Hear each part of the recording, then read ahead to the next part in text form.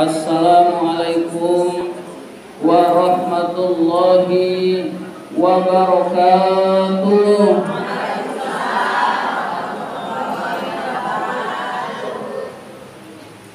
Alhamdulillahi rabbil alamin wa bihi nasta'in ala umuri dunya waddin والصلاة والسلام على أشرف الأنبياء والمرسلين سيدنا ومولانا محمد وعلى آله وصحبه أجمعين. Rabbi syrah li sadri wa yassir li amri wahlul 'uqdatam min lisani Yafkahu, qawli. Amma ba'du. Yang sama-sama kita hormati Ketua Majelis Taklim Kaum Ibu Masjid Al-Amin Ibu Ustazah Hajjah Romimah yang kami hormati ibu-ibu hadirat Majelis Taklim Al-Amin yang dimuliakan oleh Allah Subhanahu wa taala. Pertama dan yang paling utama puji syukur marilah senantiasa kita panjatkan kehadiran Allah Subhanahu wa taala yang tidak henti-hentinya memberikan nikmat-nikmatnya kepada kita semua. Antara lain yang paling berharga adalah kita diberi nikmat iman dan Islam. Sehingga kita dapat menjalankan perintahnya yaitu menuntut ilmu di jalan Allah Salawat dan salam semoga Allah limpahkan pada junjungan kita baginda Nabi besar Muhammad sallallahu alaihi wasallam beserta para keluarganya, para sahabatnya dan kepada kita sebagai pengikut ajarannya. Tadi setiap ketemu saya ada yang ucapin selamat ya. Selamat ya. Sekalian aja saya umumin, Bu. Iya. selamat ya atas bayinya. Iya, padahal belum belum umumin, Bu. ya, alhamdulillah Ibu sekalian uh, telah lahir anak saya yang keempat tuh anak saya yang keempat laki-laki laki-laki hari Kamis pukul 6.30 jadi pukul 6.30 ya hari Kamis kemarin Alhamdulillah telah lahir dengan selamat normal ibu-ibu sekalian. Ya mudah-mudahan dijadikan anak yang soleh berguna bagi agama nusa maupun bangsa Sekalian Al-Fatihah. Ala hadhihi wa ala kulli niyatin sholih wa ila hadratin Nabi Mustafa Rasulullah sallallahu alaihi wasallam. Al-Fatihah. A'udzu billahi minasyaitonir rajim Bismillahirrahmanirrahim. Alhamdulillahi rabbil alamin. Arrahmanir rahim Maliki yaumiddin. Iyyaka na'budu wa iyyaka nasta'in. Ihdinas siratal mustaqim. Siratal ladzina an'amta 'alaihim ghairil maghdubi 'alaihim waladdallin. Amin Terima kasih ibu-ibu sekalian atas doa-doanya dan anak itu amanah ibu-ibu sekalian. Jadi kita menganggap anak itu amanah titipan dari Allah yang harus kita rawat, kita jaga, kita berusaha mensolehkan. Jadi bukan sekedar terima kasih. Jadi bukan sekedar ngasih makan bu. Kalau cuma ngasih makan Hewan juga ngasih makan anaknya, tetapi kita berusaha untuk mensolehkan ibu-ibu sekalian. Saya mungkin dianggap orang tua yang kolot atau uh, terlalu terbelakang. Misalkan ibu sekalian kalau malam sering nyariin anaknya udah gede juga dicariin aja. Ya itu orang beda-beda ibu-ibu sekalian. Jadi orang beda-beda. Jadi beda beda berpendapat. Ada orang cara mendidik anaknya begini silahkan. Ada yang begini silahkan. Nah saya pun bebas ibu-ibu sekalian punya pendapat lain. Jadi anak juga harus uh, nyari kalau udah kemalaman saya di, uh, sering ditegur. Ditegur bukan ditegur sih diomongin pelan-pelan tapi enggak di depan. Anak udah gede masih dicariin aja ya itu ya itu ibu sekalian. Tapi nggak jadi masalah. Bagi saya itu nggak jadi masalah ibu sekalian. Tiap anak itu tiap orang itu beda-beda ibu-ibu sekalian. Jadi ibu-ibu sekalian inti daripada pendidikan anak ibu sekalian inti daripada pendidikan anak adalah menjaga dari lingkungan yang negatif ibu-ibu sekalian. Jadi kita udah berusaha mensolehkan lingkungannya tidak mendukung maka kita wajib menghindarkan diri dari lingkungan yang negatif ibu-ibu sekalian karena kalau anak kita sudah Misalkan ini misalkan bisa baca Quran, misalkan bisa hafal hadis, bisa hafal Quran. Kemudian lingkungan yang negatif ibu sekalian bisa jadi pertama nyoba-nyoba, akhirnya ngerokok ibu sekalian. Pertama nyoba-nyoba, akhirnya dia nggak tahu dijejeli narkoba. Narkoba itu segala macam bentuk ibu-ibu sekalian. Nah ini kita khawatir ibu sekalian. Jadi inti daripada pendidikan agama dan akhlak adalah menghindarkan dari lingkungan yang negatif ibu-ibu sekalian. Kalau itu bisa, itu insya Allah selamat. Artinya kita berusaha ibu-ibu sekalian. Kalau ternyata hasil itu terserah Allah. Jadi kalau hasil itu terserah Allah ibu sekalian. Tapi kita orang tua itu mengupayakan maksimal. Ya ini tambahan saja ibu sekalian. Ibu-ibu hadirat yang dimuliakan oleh Allah subhanahu wa ta'ala kita diciptakan oleh Allah subhanahu wa ta'ala di dunia ini punya tujuan ibu-ibu sekalian jadi kita diciptakan ke dunia ini punya tujuan ibu-ibu sekalian. Tujuannya adalah tujuannya ibu-ibu sekalian adalah yang tahu adalah yang menciptakan ibu-ibu sekalian. Ada orang beli mobil, tujuan beli mobil tanya ke yang beli ibu-ibu sekalian. Ada orang buat suatu produk, suatu barang, Tujuan barang itu tanya kepada yang bikin untuk apa ini dibuat ibu-ibu sekalian. Nah, manusia yang bikin adalah Allah Subhanahu wa taala. Allah Subhanahu wa taala menjelaskan tujuan kita diciptakan ibu-ibu sekalian. Allah berfirman, "Wa ma khalaqtul jinna wal insa illa liya'budun." Tidaklah aku ciptakan jin dan manusia kecuali untuk beribadah beribadah kepadaku. Jadi ternyata tujuan kita hidup di dunia ini untuk beribadah kepada Allah. Bukan untuk jalan-jalan ibu-ibu sekalian. Bukan untuk makan-makan enak ibu-ibu sekalian. Bukan untuk refreshing, rekreasi Bukan ibu-ibu sekalian. Tetapi untuk ibadah kepada Allah subhanahu wa ta'ala. Kalau kucing pengen ikut ngaji bu kucing aja pengen ngaji nih yang manusia nggak semuanya pengen ngaji ibu iya. Ibu-ibu hadirat yang dimuliakan oleh Allah Subhanahu wa taala. Jadi kita diciptakan oleh Allah tujuannya kata Allah untuk beribadah kepada Allah Subhanahu wa taala. Jadi kita tanamkan dalam diri kita, saya diciptakan di dunia ini untuk ibadah kepada Allah. Maka saya akan beribadah kepada Allah Subhanahu wa taala. Nah, ibadah itu sangat luas ibu-ibu sekalian. Sholat juga ibadah puasa ibadah membayar zakat ibadah tahajud ibadah nolong orang ibadah bermanfaat buat orang lain ibadah. Semua yang diperintahkan oleh Allah bernilai ibadah syarat ibadah ibu sekalian kalau dikerjakannya dengan ikhlas ibu-ibu sekalian. Tapi kalau dikerjakannya tidak ikhlas maka tidak dianggap ibadah oleh Allah Subhanahu wa taala.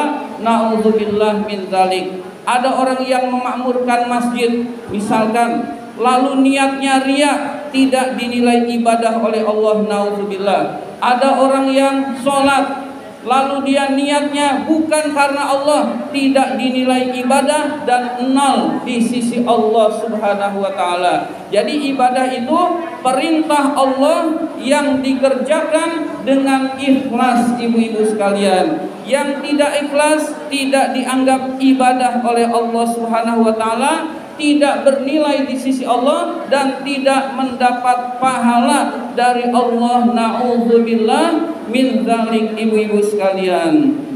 Ibu-ibu hadirat yang dimuliakan oleh Allah Subhanahu wa taala, dunia ini sementara ibu-ibu sekalian. Yang kita kumpulkan harta yang banyak yang kita kumpulkan ketika kita meninggal dunia sudah tidak kita nikmati lagi.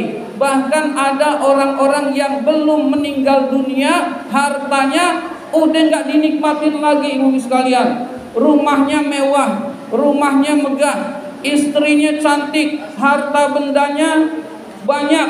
Lalu difonis masuk penjara ibu-ibu sekalian, nggak dinikmati itu semua ibu-ibu sekalian. Sogok sana sogok sini biar nggak dipenjara akhirnya dipenjara juga ibu-ibu sekalian. Udah dosanya bertumpuk-tumpuk. Di dunia udah nggak dinikmati ibu-ibu sekalian. Lalu di akhirat jauh lebih sengsara ibu-ibu sekalian.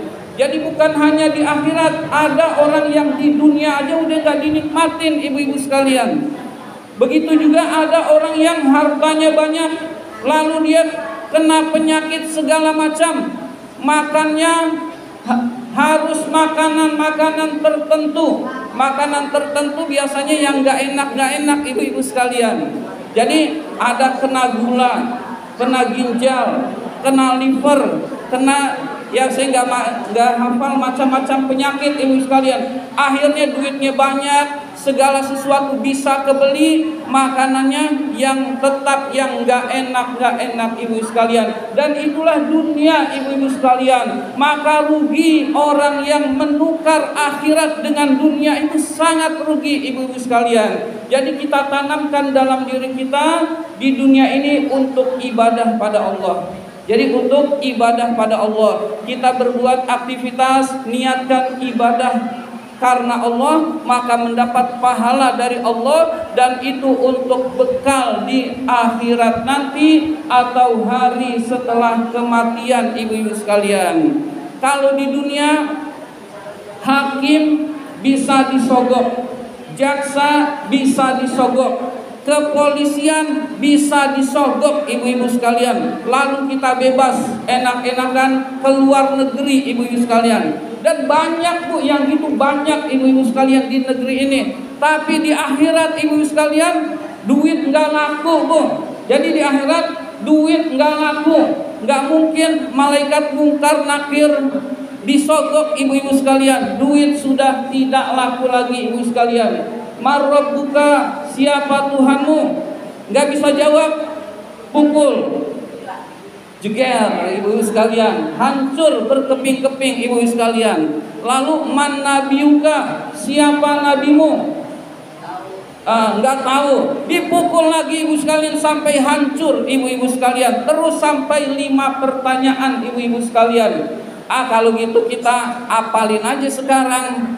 Ya coba aja ibu apalin. Amalnya nggak soleh lupa ibu-ibu sekalian. Jadi ngapalin begitu ketika di akhirat amalnya berantakan ibu-ibu sekalian banyak perbuatan jahatnya itu lupa ibu-ibu sekalian sehingga tetap masuk nerakanya Allah. Naudzubillah min dzalik ibu-ibu sekalian. Jadi setelah kita di alam kubur ibu-ibu sekalian setelah semuanya pergi lalu tujuh langkah sudah semua yang terakhir sudah pergi ibu-ibu sekalian lalu akan datanglah dua malaikat mungkar nakir yang menanyakan ah yang menanyakan di alam kubur. Kalau pertanyaan itu bisa dijawab dengan baik dia akan mendapatkan nikmat kubur. Dan kalau pertanyaan itu tidak bisa dijawab dengan baik dia akan mendapatkan azab kubur. Dan orang yang mendapatkan nikmat kubur maka dia akan nanti setelah hari kiamat masuk surganya Allah Subhanahu wa taala. Tapi kalau orang itu mendapatkan siksa kubur setelah hari kiamat, mendapatkan nerakanya Allah naudzubillah min zalik ibu-ibu sekalian. Jadi selama-lamanya kita hidup di dunia yang kita nikmati itu sebentar ibu-ibu sekalian. Itu paling 60 tahun, ada yang 70 tahun, ada yang 80 ibu sekalian. 80 itu sudah cakep banget ibu-ibu sekalian. Sudah banyak bonusnya ibu-ibu sekalian. Lalu semenjak kecil kita berusaha, berusaha, berusaha. Sampai sekolah, sampai kuliah, sampai kerja, umur kita sudah dipakai separuh buat usaha ibu-ibu sekalian. Tinggal 30 tahun kurang lebih ibu-ibu sekalian. Itu pun kalau bahagia, kalau nggak bahagia, dunia udah nggak bahagia ibu-ibu sekalian. Jangan sampai akhirat tidak bahagia ibu-ibu sekalian. Maka kita niatkan dalam hati kita hidup di dunia ini untuk ibadah yaitu apa yang Allah perintahkan laksanakan apa yang Allah larang tinggalkan ibu sekalian. Itu insya Allah kita akan menjadi orang yang selamat ibu sekalian. Orang yang melaksanakan perintah Allah itu akan selamat di dunia maupun di akhirat ibu sekalian. Fa amma man a'ta wattaqa wa saddaqa bil husna fasanuyassiruhu lil yusra fa amma man a'ta wattaqa barang siapa yang senang memberi wattaqa dan bertakwa kepada Allah Subhanahu wa taala wa saddaqa bil husna dan membenarkan tentang balasan kebaikan setelah kematian fasanu yassirhu lil yusra maka aku akan berikan kehidupan yang mudah bagi Allah Subhanahu wa taala. Jadi oleh Allah Subhanahu wa taala. Allah tidak menjelaskan akhiratnya mudah, dunianya berantakan. Enggak, Ibu sekalian. Dunia akhiratnya mudah, Ibu-ibu sekalian. Kalau bersedekah bertakwa kepada Allah dan membenarkan adanya balasan hari akhir ibu-ibu sekalian. Jadi jangan sampai kita nggak percaya adanya balasan hari akhir. Nauzubillah min zalik ibu-ibu sekalian. Ibu-ibu hadirat yang dimuliakan oleh Allah Subhanahu wa taala. Yang menyebabkan kita tidak bertakwa kepada Allah Subhanahu wa taala menurut Imam Ghazali itu ada empat. Yang pertama adalah dunia. Seseorang itu sering terjebak oleh dunia, menjadikan dunia sebagai tujuan ibu-ibu sekalian. Kalau dunia sudah dijadikan tujuan, orang tersebut sudah salah jalan ibu-ibu sekalian. Dunia itu mazra'atul akhirah. Dunia itu tempat menanam untuk akhirat nanti ibu-ibu sekalian. Orang yang menjadikan dunia sebagai tujuan, maka dia yang penting dapat duit, yang penting banyak duit, yang penting banyak harta, yang penting rumah saya mewah, lalu dia terjebak menghalalkan segala cara yang haram dia kerjakan karena untuk dunia. Nauzubillah min zalik ibu sekalian. Jadi yang penting bagi kita halal ibu-ibu sekalian. Nyari duit apa saja yang penting halal ibu sekalian. Profesi apa saja ibu sekalian yang penting halal ibu-ibu sekalian. Jadi jangan dibalik. Jangan yang penting dapat duit jangan ibu sekalian. Rugi di akhirat nanti ibu sekalian. Dan belum tentu dapat juga ibu sekalian. Jadi orang yang berprinsip yang penting saya dapat duit itu belum tentu dapat juga tergantung ditakdirkan oleh Allah apa tidak dia dapat rezeki ibu sekalian. Jadi sebagai sekuat-kuatnya usaha kita Allah nggak nakdirin tetap miskin miskin juga ibu-ibu sekalian. Tapi kalau Allah sudah mentakdirkan kita mendapatkan rizki. Banyak orang yang merintangi Tetap rizki itu sampai kepada kita ibu sekalian. Jadi jangan khawatir dengan nggak dapat duit ibu sekalian. Tapi khawatirlah halal haramnya ibu-ibu sekalian. Kalau kita berusaha menjauhkan yang haram ibu sekalian Nanti yang halal Allah mudahkan ibu-ibu sekalian. Jadi kita yang penting halal ibu-ibu sekalian. Jangan yang penting dapat duit ibu sekalian. Tapi yang penting halal karena untuk keselamatan akhirat kita ibu-ibu sekalian. Ibu-ibu hadirat yang dimuliakan oleh Allah Subhanahu wa taala. Rasul pernah berjalan di pasar bersama para sahabat. Suatu ketika Rasul dengan para sahabat itu mencium bau mencium bau yang busuk ibu-ibu sekalian. Kemudian Ternyata bau busuk itu sumbernya dari seekor kambing, bangkai kambing yang sudah busuk dan sudah mati lama ibu sekalian. Rasul bertanya kepada para sahabat, wahai sahabat, ada nggak yang mau daging kambing ini? Kira-kira ada nggak bu? Nggak ada ibu-ibu sekalian. Para sahabat menjawab, enggak ya Rasul. Nggak mungkin di antara kita ada yang mau daging kambing yang sudah busuk ini ya Rasul. Kemudian Rasul mengumpamakan itulah berdaging yang busuk itu itulah perumpamaan dunia di itulah perumpamaan dunia lebih menurut pandangan Allah Subhanahu wa taala. Daging yang busuk ini sudah tidak diinginkan oleh pemiliknya dan itulah perumpamaan dunia di sisi Allah Subhanahu wa taala ibu-ibu sekalian. Jadi orang-orang tertentu ibu-ibu sekalian mengambil dunia itu sebatas keperluannya buat akhirat ibu-ibu sekalian. Ibu-ibu hadirat yang dimuliakan oleh Allah Subhanahu wa taala. Yang kedua yang bisa merintangi seseorang untuk taat adalah godaan setan ibu-ibu sekalian.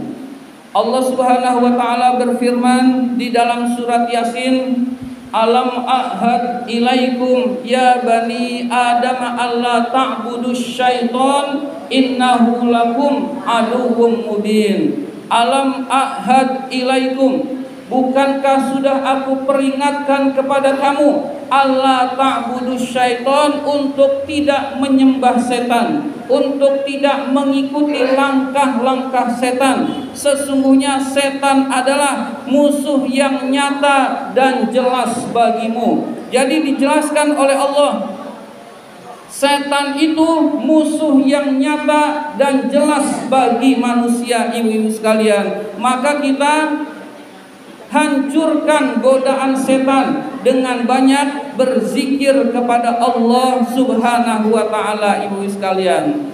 Setan itu ibu sekalian mampunya hanya membisikkan ibu sekalian. Keputusannya ada pada kita manusia. Kalau manusia itu memutuskan melakukan perintah Allah maka setan tidak berdaya ibu sekalian. Begitu juga ada bisikan untuk hal-hal yang negatif. Lalu manusia itu memutuskan untuk menolak hal yang negatif itu maka setan itu tidak berdaya ibu sekalian. Jadi setan itu hanya bisa membisikkan ibu sekalian allazi yuwaswisu fi sudurin nas yang membisikkan kejahatan ke dalam hati manusia. Jadi setan itu hanya bisa membisikkan, nggak bisa mencelakai kita ibu sekalian. Misalkan kita dibisikkan untuk tetap tidur. Lalu kita memilih tetap sholat subuh. Itu setan nggak bisa mencelakai kita karena kita sholat subuh ibu-ibu sekalian. Setan hanya bisa membisikkan. Ketika bisikan setan itu kalah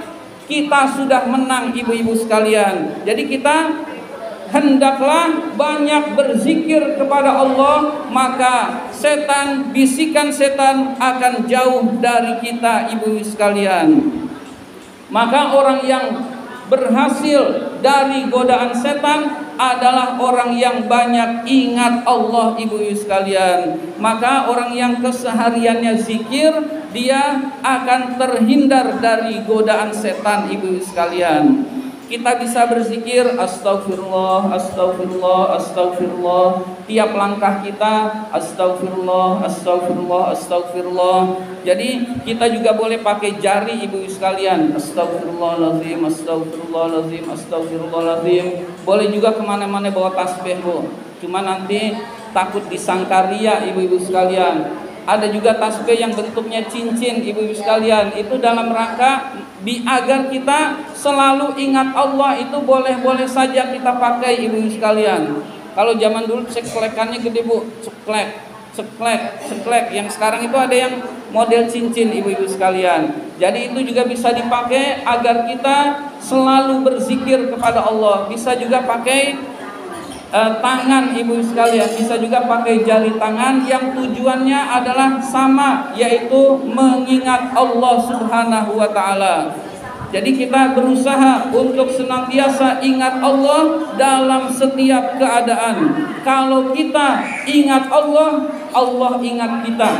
Kalau Allah ingat kita, urusan kita dimudahkan oleh Allah Subhanahu wa taala. Tapi kalau kita tidak ingat Allah Ibu sekalian, Allah tidak ingat kita, lalu urusan urusannya terserah kita. Akhirnya kita akhirnya kita sengsara ibu-ibu sekalian. Jadi kita berusaha senantiasa ingat Allah, maka akan dijauhkan dari godaan setan ibu-ibu sekalian. Selanjutnya yang ketiga ibu sekalian yang menyebabkan seorang itu sulit taat pada Allah Subhanahu wa taala adalah al khalqu, makhluk atau manusia atau lebih lebih detailnya adalah lingkungan yang buruk ibu-ibu sekalian. Jadi lingkungan yang buruk itu menyebabkan seseorang itu ikut menjadi buruk ibu-ibu sekalian. Misalkan ada orang yang biasa-biasa saja, tapi lingkungannya lingkungan pesantren ibu-ibu sekalian. Lingkungan pesantren itu lingkungan yang kalau malam tahajud, kemudian sering baca Quran, sering ibadah kepada Allah, isinya belajar. Maka orang-orang yang biasa-biasa saja ikut-ikutan jadi baik ibu sekalian. Teman-temannya 30 juz hafal minimal dia juz 30 udah hafal ibu-ibu sekalian karena terbawa lingkungan minimal ayat-ayat tertentu dia hafal ibu sekalian. Orangnya lingkungannya ahli tahajud ibu sekalian. Minimal orang yang terbawa sholat lima waktunya terjaga ibu-ibu sekalian. Nggak usaha sama sekali tapi kalau lingkungannya benar terbawa ibu-ibu sekalian. Terbawa minimal sholat lima waktunya terjaga. Jus 30 dia hafal. Kemudian lingkungannya hal-hal baik. Tapi kalau lingkungan kita nggak tidak mendukung ibu-ibu sekalian lingkungan kita buruk ibu-ibu sekalian maka kita harus berusaha keras untuk menjadi taat pada Allah Subhanahu wa taala ibu-ibu sekalian. Jadi agar seseorang itu menjadi baik taat pada Allah hambatan yang besar adalah hambatan yang besar adalah lingkungan yang buruk ibu sekalian. Solusinya adalah tarku majalis su meninggalkan majlis yang buruk ibu-ibu sekalian. Dan yang terakhir yang menyebabkan seseorang tidak taat pada Allah adalah godaan hawa nafsu ibu-ibu sekalian. Godaan hawa nafsu itu yang ada di dalam hati keinginan untuk bersenang-senang yang terus-menerus. Itu namanya godaan hawa nafsu. Hawa nafsu pun kalau kita paksa dia tidak berdaya ibu sekalian. Tapi kalau kita turutkan ibu sekalian kita akan terus-menerus tergoda oleh hawa nafsu ibu sekalian. Jadi sebelum kita berjihad yang besar ibu sekalian. Ada jihad yang besar yang ada di dalam diri kita dan harus kita perangi yaitu jihadun nafsi jihad melawan hawa nafsu. Gak semua orang itu menang ibu-ibu sekalian. Jadi kita berusaha mengalahkan rasa malas yang ada dalam diri kita. Kita ingin tidur waktunya ngaji, kita pilih ngaji, itu namanya menang melawan godaan hawa nafsu ibu-ibu sekalian. Kita sedang nyenyak tidur, kemudian azan berkumandang, lalu kita memilih sholat subuh ibu sekalian. Nah orang tersebut menang melawan hawa nafsu ibu-ibu sekalian. Dan itu adanya di dalam diri kita, yaitu keinginan kesenangan yang terus menerus. Kalau kita lawan, kita menjadi pemenang terhadap godaan hawa nafsu dan Rasul menegaskan itu adalah jihadul akbar. Jihad melawan hawa nafsu adalah jihad yang besar ibu-ibu sekalian. Nah, kalau keempat ini bisa kita atasi, maka insya Allah kita menjadi orang-orang yang taat pada Allah Subhanahu wa taala dan mudah-mudahan urusan-urusan kita dimudahkan oleh Allah Subhanahu wa taala. Amin ya rabbal alamin. Marilah kita tutup dengan doa, mudah-mudahan kita semua senantiasa member, senantiasa mendapatkan ilmu yang bermanfaat dan juga mudah-mudahan urusan-urusan kita senantiasa dimudahkan oleh Allah Subhanahu wa taala. Mudah-mudahan kita semua senantiasa disehatkan oleh Allah Subhanahu wa taala dan mudah-mudahan di sini ada anak-anak yatim, anak-anak yatim kita senantiasa disolehkan oleh Allah Subhanahu wa taala, juga termasuk anak-anak kita dijadikan menjadi anak yang soleh oleh Allah Subhanahu wa taala. Dan mudah-mudahan kita semua Allah wafatkan dalam keadaan husnul khatimah. Ala hadhihi wa ala kulli niyatin salihah wa ila hadratin Nabi Mustafa Rasulullah sallallahu alaihi wasallam al-fatihah الفاتحة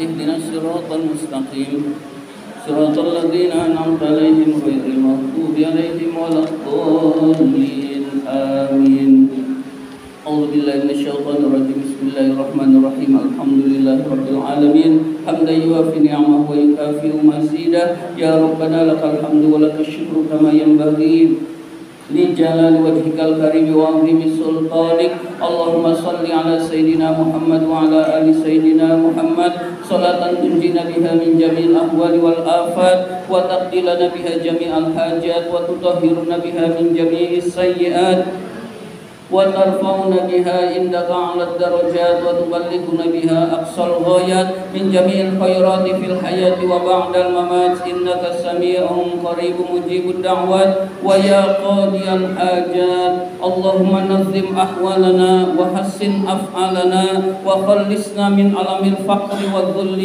واعصمنا من البلاء والوباء والطاعون ومن شرور الأعداء والشياطين والنفس الأمارة بالسوء.